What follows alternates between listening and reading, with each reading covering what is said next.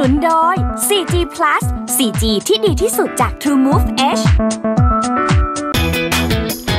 เจนนี่เผยปมดราม่าฟิตเนสบุ๋มยืดเยื้อโวพร้อมจ่าย 3 ล้านใบดาวิกาปัดอวดรวยใส่เพชรหรูราคา 50 ล้านเดินห้าง ชาคริสยันขาเตียงไม่หัก รับมีปัญหาวุ้นเส้น ยังไม่พับแพลนมีลูก มัมจกมกลั่น ไม่เคยพูดตัดขาดพี่น้องกับแววจกมก ไม่คิดปิดโอกาสงานในวงการบันเทิง และข่าวฮอตอื่น ๆ ใน บันเทิงพลาซ่ากลับมาแล้วกลับมาแล้วสวัสดีนะคเจ๊รับสวัสดีสวัสดีครับ ขอต้อนรับคุณผู้ชมเข้าสู่รายการเหมือนเดิมพลาซ่าเช้าจัดเต็มเย็นจัดหนักใช่ มาช้ากว่าเดิม แต่ว่าการจัดเต็มของเราก็ยังคงเต็มที่ วันนี้มากันแล้วนะครับโบโบกับพี่เอกกี้ผิวแทน ยังไงยังไงยังไงเล่าให้ฟังไปเที่ยวมาสนุกหรือเปล่าเจ๊ สนุกมากเหรออยากครัให้บ ทุกคนได้ไปพักผ่อนบ้างพอพักผ่อนปุ๊บเรากลับมามีแรงเหมือนเดิมสนุกด้วยบรรยากาศหรือว่าสนุกกับคนไปเที่ยวด้วยกัน สองอย่างรวมกัน อืมเนี่ยแล้วก็บอกว่าไปกับใครก็ถามว่าไปกับใครก็ไม่ยอมบอก สุดท้ายต้องไปตามดูในไอจีอย่าตพี่ลหัอวดทัศเลน์ยฉันจะเข้าข่าวนี้ก่อน อย่าพึ่งเลยดีกว่าทำไมมีภาพไม่ดูกันภาพด้วยอะไรกันอ้าวไม่รู้ก็เห็นบอกไปเที่ยวใครมีภาพบรรยากาศการเที่ยวสนุกสนาน ไปกับเพื่อนมาก็ไม่บอกไปกับทำม่าเพื่อนไม่ไม่เอาน้องไปด้วย ฉันคิดถึงเขาฮะน้องคนนี้เขาดีกว่าน้องคนนี้ยังไง โอ้โห ดีกว่าตั้งแต่อายุแล้ว และก็ในความน่าใสวันหลังไปกัน 3 คนน้องไปด้วยไม่เอาเพราะดูบรรยากาศเจ๊ไปเนี่ย คืออันนี้เจ๊ไปทั้งหมดกี่วันนะครับ สี่วันสามคืนสี่วันใช่ไหม มาลดีฟนะฮะ โอ้โหแล้วชิลไม่ต้องอิจฉามกนะครับเป็นเพื่อนกันนะฮะ ครับครับครับอิจฉาไม่ใช่อิจฉาเจ๊นะอิจฉาน้องนี่แหละโอ้โหได้ไปเที่ยวด้วย สวยมากคุณผู้ชมน้ำครับใสผม มากเลยคุณผู้ชมถ้ามีโอกาสก็ต้องนะแวะกันไปหน่อยอะถือว่าให้เจ๊เอกกี้เข้าไป refresh แต่ว่าตัเมืองไทยเราก็ไม่แพ้นะความจสริวยงงามๆของท้องทะเลนะฮะแต่ว่าก็สามารถมัไปนเมืก็องไทยได้ เปลี่ยนบรรยากาศไงเจ๊เนาะใช่ นะครับถ้าอยู่ต่ออีกสักสามวันฉันคเหรงอรักเขาไปแล้ว เหรอ แต่เขาอาจจะบอกเอออยู่ต่ออีกสามวันเนี่ย ฉันอยู่กับแกเป็นปีฉันไม่เคยรักกันเลย ดูสิครับจากสี่วันช่วงนี้เลยช่วงนี้เลยกับช่วงเมาไอ้สัตว์เลยรายการเรานี่นะ ชอบฮะเอาเรื่องกับพวกเรามาเมาเนอะอ้าวเราเก่งกับเรื่องเราเองทั้งนั้นแหละครับ ครับผมอะยังข่าไงวนี้เจ๊ แซ่บมากเลยอะข่าวใครไม่ว่าฉันจะอยู่ที่ไหนฉันก็ยังไม่จบนะข่าวนี้นะฮะยังไงฮะคุณเจนนี่นะฮะโอ้ที่ออกมาเปิดใจครั้งแรกเกี่ยวกับปมปัญหาเอาสิธุรกิจนะฮะ ครับผมกับเจ๊สั่งลุย อ่า ซื้อเจ๊สั่งลุยกับคุณบุ๋มปนัดดา เชฟบุ๋มบิ๋มโดยเมื่ออาทิตย์ก่อนเนี่ยสาวเจนนี่เนี่ยได้ให้ทนายเนี่ยส่งหนังสือสัญญายกเลิกการเช่าพื้นที่ไปให้คุณบุ๋มเรียบร้อยแล้วนะคครัรับบโดยในสัญญาเนี่ยระบุว่าจะต้องย้ายออกนะฮะภายใน 60 วันหลังได้รับหนังสือพร้อมยอมรับนะครับว่าได้ยื่นข้อเสนอให้กับคุณบุ๋มไป 8 ข้อ พร้อมเงิน 3 ล้านจริงนะฮะครับผมซึ่งด้านคุณบุ๋มเนี่ยยังไม่ตกลงกับข้อเสนอนะครับแถมยังยื่นข้อเสนอกลับว่าจะขออยู่ต่ออีก 5 เดือน โดยไม่จ่ายค่าน้ำค่าไฟ พร้อมให้สาวเจนนี่เนี่ยออกมาตั้งโต๊ะแถลงข่าวพร้อมกัน งานนี้เจนนี่จะตอบว่ายังไง เชิญชมเลยอุ้ยแซ่บเหลือเกินแซ่บมากวิตายแล้ว เสนอที่เราเสนอไปเขาก็ฝั่งนั้นก็ยังไม่โอเคค่ะอย่างข้อเสนอที่เจนเสนอไป มันก็อย่างเช่นว่าเจนจะจ่าย 3 ล้าน แต่ว่าพี่บุ๋มขออยู่ต่ออีก5เดือนโดยที่ไม่จ่ายค่าเช่า แล้วก็รวมทั้งค่าน้ำค่าไฟอย่างเงี้ยค่ะเจนนี่ยังไม่เคยได้รับเงินตั้งแต่เปิดจนถึงวันนี้ยังไม่เคยได้รับเงินสักบาทเลยอะค่ะ คือจริง ๆ ถามว่าเป็นธรรมหรือไม่เป็นธรรมเนี่ยเจนนี่ไม่อยากตัดสินแต่เจนนี่รับผิดชอบ คือค่าเช่าตรงนี้ด้วยตัวเองเนี่ยไม่ไหวจริงๆอะค่ะกรณีที่พี่บุ๋มให้สัมภาษณ์เขาวก่อน แล้วก็บอกว่าทางเราเนี่ยยื่นข้อเสนอไปแปดข้อหนึ่งในข้อคือให้เขาแถลงขอบคุณขอโทษอะไรอย่างเงี้ยค่ะยังไงดีคือจริง ๆ ในสัญญาที่เซ็นกันไว้อยู่แล้วอะนะคะ มีข้อ 7.5 ได้กล่าวไว้ว่า ถ้าเกิดว่าฝ่ายใดฝ่ายหนึ่งทำให้อีกฝ่ายหนึ่งเสียชื่อเสียงเนี่ยก็ต้องรับผิดชอบอะค่ะเจนนี่ยอมที่จะจ่าย3ล้านบาท เพื่อที่จะซื้อฝั่งสแน็คคืนมาอย่างพี่บุ๋มบอกว่าถ้าจะให้แถลงจริงๆแถลงขอโทษขอบคุณอยากให้พี่เจนนี่ไปแถลงกับเขาด้วยอะไรอย่างเงี้ยจริงๆเจนนี่ว่ามันเลยจุดตรงนั้นมาแล้วอะค่ะมันตอนนี้ทุกอย่างที่ทำคือลายลักษณ์อักษรเท่านั้นดีกว่าจริง ๆ เรื่องของธุรกิจมันก็คือเรื่องของธุรกิจอะเนาะ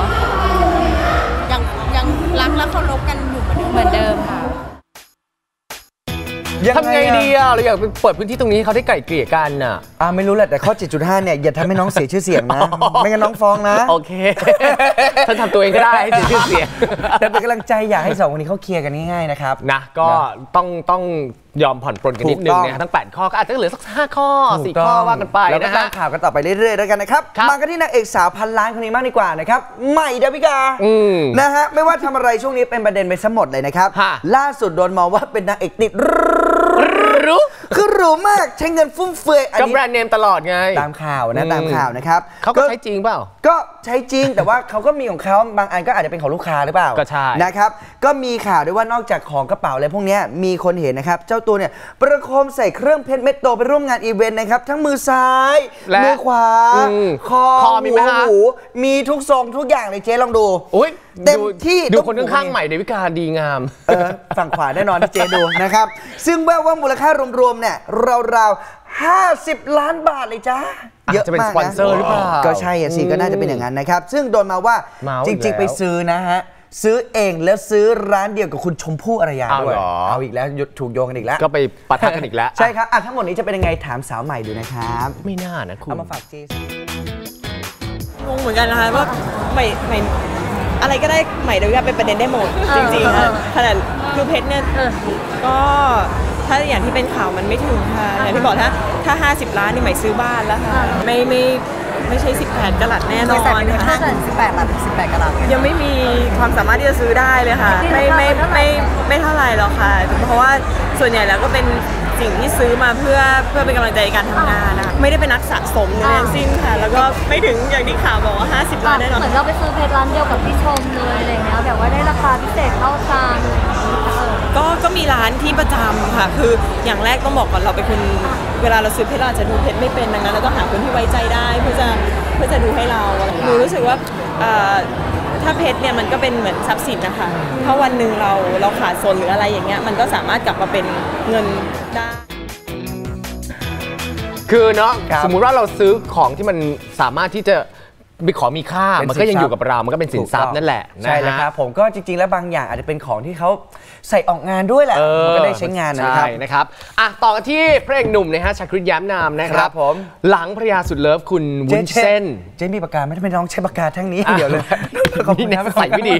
คุณวุ้นเส้นนะฮะครับผมออกมายอมรับผ่านสื่อว่ามีปัญหาครอบครัวถึงขั้นต่างฝ่ายเนี่ยต่างแยกกันอยู่นะครับ ล่าสุดหนุ่มชาคริต อะไร ครับผม ออกมาเปิดใจถึงสาเหตุดังกล่าวนะยังไง ว่ามีปัญหาเรื่องเดิมๆ ที่ครับเกิดขึ้นกับชีวิตคู่ เพราะว่าหนึ่งอ่าก็คืออาจจะไม่มีเวลาให้กันเต็มที่ครับทั้งงานในวงการแล้วก็เรื่องของธุรกิจส่วนตัวนะครับอ๋อครับงานนี้ผมหลายคนก็เลยสงสัยว่าเฮ้ยยังไง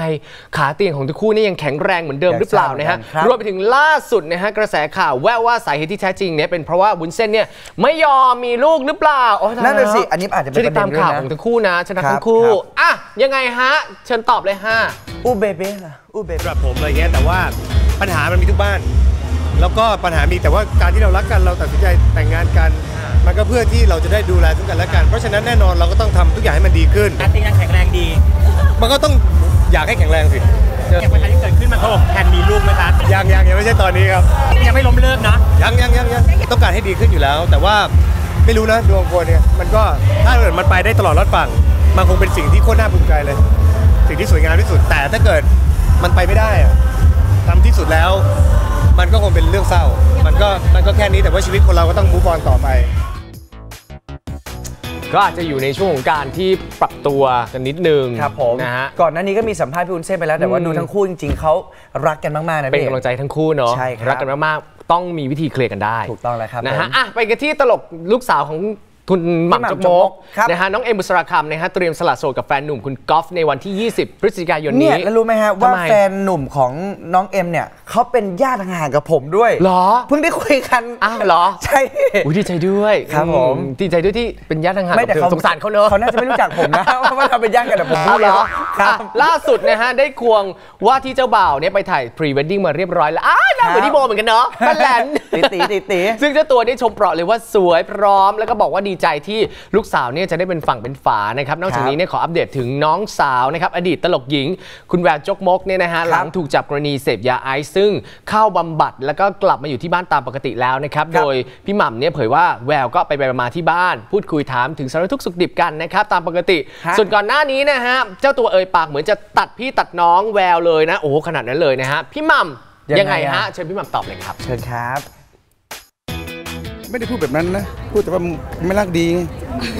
พูดไม่รักดีไงทุกคนมีเส้นทางของของของของของของแต่ละคน อยากเลือกเดินทางไหนก็เลือก ต่อให้มันเป็นโจรต่อให้มันฆ่าคนตาย มันก็ต้องเป็นพี่เป็นน้องนี่แหละ ถูกไหมมันก็เหมือนกันทุกคนแหละเหมือนคิดเหมือนผมไหมล่ะเอาน้องติดคุกเนี่ยเอาเรื่องอะไรก็แล้วแต่เอาสมมุตินะมันก็เหมือนกันนะมันก็พี่น้องกันอดห่วงมันไม่ได้หรอกอ๋อก็เรื่องเอ็มเหรอครับใกล้แต่งแล้วเนี่ยก็ดีใจที่ลูกเป็นฝั่งเป็นฝาขายได้ขายออกแล้วรู้สึกดีใจที่ลูกจะได้ มีครอบมีครัวอยากมีหลานเลยไหมคะก็ยังครับเขาบอกว่ายังไม่มีพร้อม ยังไม่ยังมีพร้อมที่จะมีหลาน แม่เขามากกว่าครับ แม่เขามากกว่า แม่เขาคงอยากแม่แฟนแฟนเมียผมอยากอยากอยากได้อยากอุ้มหลานก็ดีแล้วเขาจะได้ไม่เหงาด้วย จะได้ไม่บ่นให้ผมด้วยดีเหมือนกัน จริงนะครับผมพี่น้องอะต่างฝ่ายต่างก็มีเส้นทางของตัวเองถูกเพราะฉะนั้นจะรักดีไม่รักดีไงแต่ยังไงก็เป็นพี่น้องตัดกันไม่ขาดนะถูกต้องแล้วตอนนี้ครับ Facebook เราคึกคักมากเลยนะฮะครับผมเข้าไปกดไลค์กันได้เลยบันเทิงพลาซ่านั่นเองนะครับใช่เลยครับล่าสุดมีคนไปดูคลิปของปั๊บปเตโต้อะอ่ากักับน้องเตยอะหนึ่งล้านห้าแสนวิวฮะ เอาสักห้าแสนให้น้องมาตรงธนากรชินกุลหน่อยแล้วกดไลค์บันเทิงพลาซ่าของเราเพิ่มขึ้นเป็นหมื่นโอ้ยดีใจน่ารักอะมากขอบคุณมากนะครับผม ใช่ค่ะ เดี๋ยวพักแป๊บหนึ่งช่วงหน้ามีข่าวใครครับบอโอ้ช่วงหน้ามีข่าวของมากกี้ราศีกับน้องป๊อกด้วย ถูกต้องอะรอติดตามช่วงหน้าครับผมพักแป๊บหนึ่งเดี๋ยวเจอกันนะเกิ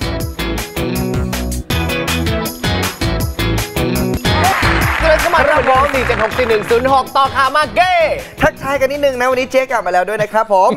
ต่อกันที่คู่รักสุดไว้อีกหนึ่งคู่ดีกว่าใช่เจ๊นะครับนั่นก็คือคู่ของน้องมาร์กี้ราศีนะครับกับน้องป๊อกภัสสรกรณ์นั่นเองนะครับครับควงคู่กันออกรับงานอีเวนต์นะครับโชว์หวานให้หลายๆคนอิจฉากันอีกครั้งหนึ่งนะครับเนาะพร้อมโอกาสเคลียร์ประเด็น hot นะครับหลังมีกระแสข่าวมาว่าทั้งคู่เนี่ย บินไปปารีสประเทศฝรั่งเศสบ่อยๆนะครับ ที่ไปเนี่ยไปดูชุดแต่งงานหรือเปล่าอุ้ยเพราะหลายๆคนอันนี้คนเมาส์กันมานะเออนะครับหรือว่าทั้งคู่จะมีข่าวดีในเร็ววันนี้นะครับเพราะก่อนหน้านี้เนี่ยก็มีข่าวว่าคุณแม่คุณอภัสราหงสกุลนะครับครับคุณแม่ของหนุ่มป๊อกเนี่ยปลื้มสาวมากกี้มากเอออันนี้ผมเคยดูรายการเหมือนกันคุณแม่เขาพูดถึงน้องมากกี้ได้ดีมากหล่อหล่อหล่อหล่อเขาชอบเขาชอบนี่ไงแม่ชอบ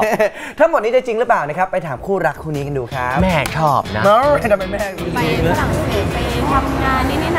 ก็พาน้องสาวไปเที่ยวก็แค่นั้นข่าวแต่งงาน แต่งงานเอออะค่ะโอ้ยังไม่มีค่ะ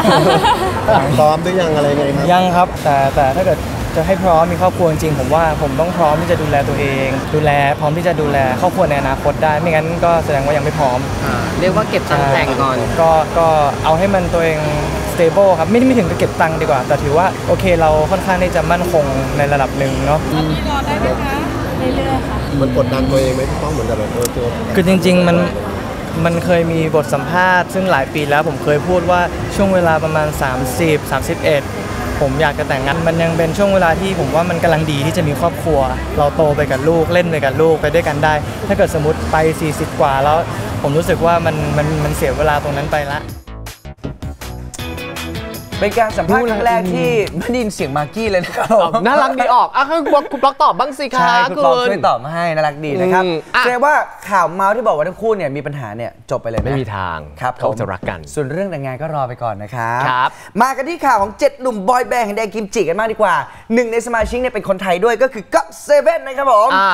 ล่าสุดบินลัดฟ้าจากเกาหลีนะครับมาให้สาวกชาวอากาเซนะฮะได้กรี๊ดกันถึงเมืองไทยไปนที่เรียบร้อยนะฮะโดยทั้งอ่า7หนุ่มเนี่ยขึ้นแท่นเป็น brand ambassador เครื่องดื่ม est เสิร์ฟความซ่าซีดสุดขั้วนะครับผมนำทีมโดยแบมแบมน่ารักน่ารักแบมแบมามกน่ารักนี่ก็คือสมาชิกคนไทยนะครับฮะพร้อมด้วย JB จูเนียร์มาร์คยองแจยุกยอม และโบธนากรอ๋อไม่มีไม่ใช่นะครับโบจ้ะหนุ่มแจ็คสันครับผม โดยอ่าติดภารกิจสำคัญนะครับ ไม่สามารถมาร่วมงานได้ซึ่งงานนี้เนี่ยนอกจากทั้ง6หนุ่มนะครับจะได้มาเปิดตัวภาพยนตร์โฆษณาชุด S ซีดสุดขั้วกับ God Seven กันแล้วนะครับครับแฟนคลับเนี่ยก็ยังได้ฟินนะครับกับความน่ารักหล่อใสนะครับกันอีกด้วยรวมไปถึงนะครับพิเศษมากๆเป็นบรรจุภัณฑ์ S ใหม่ดีไซน์รูป7หนุ่ม God Seven เจ๊เออดื่มเหมือนดื่ม ดื่มแบมแบมเข้าไปด้วยเออออะไรอย่างนี้ยวนน้ำลายให้เหล่าอากาเซะเนี่ย ได้สะสมให้ครบทุกแบบทุกขนาดนะครับ ก่อนจะเปิดท้ายความซ่าสุดซีดกับการท้าชนขวด S Orange Orange Cola นะครับ อันนี้เป็นนวัตกรรมโคลากลิ่นส้ม โดยมีแฟนคลับผู้โชคดีเนี่ยขึ้นไปร่วมเล่นเกมกับ 6 หนุ่มแบบใกล้ชิดเรียกว่า ใช่ Exclusive แบบสุดๆถูไปกเลยต้องครัเมื่บอกี้เห็นจากภาพเลยนะ โอ้ยแบบโอ้ย ดีมากเนาะอืมเจ๊ดูคนดิคือคนคแบบนแน่นมากหศาลมาก นะฮะนี่คืออีกหนึ่งกิจกรรมนั่นเองนะใช่ฮะครับ อะเดี๋ยวเรามีสรุปข่าวบันเทิงแซ่บๆอีกเพียบเลยนะฮะไปชมกันเลยครับ ครับผมออม สุชาเขิน ขึ้นแทนเจ้าแม่ไลฟ์ถ่ายทอดสด แจ้งเป็นช่องทางติดต่อแฟนคลับชาวจีน ลั่นไม่ซีเรียสถูกวิจารณ์หน้าเปลี่ยน ยืนยันไม่ได้ทำศัลยกรรม โตลงรูปคู่ณดสยบข่าวลือมือที่ 3 โมอามีนาเนื้อหอม รับหวนคุยแฟนเก่าอดีตนักร้องบาสบางแก้ว ยันไม่คิด return ส่วนสาวหล่ออ้อม อดีตหวานใจยังติดต่อกันอยู่ เผยตอนนี้สถานะโสดสนิท เนยโชติกาตื่นเต้นใกล้แต่งไฮโซอาร์มฟุ้งชุดเจ้าสาว3ชุดพร้อมแล้วเผยว่าที่สามีอยากมีลูกเลย ลั่นหลังแต่งงดรับละครยาว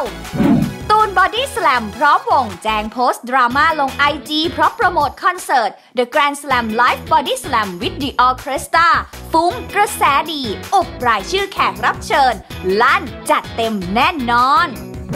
ฮัทจิรวิทย์โว คุยสาวหลายคนแต่สถานะยังโสด ลั่นขอพักงานโชว์ six pack หวั่นคนติดภาพเดิมๆ เปรยอยากมีหลากหลาย character ให้คนได้เห็น